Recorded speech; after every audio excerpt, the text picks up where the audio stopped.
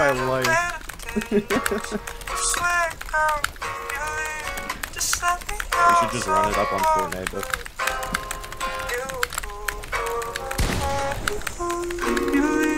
Just let me lose.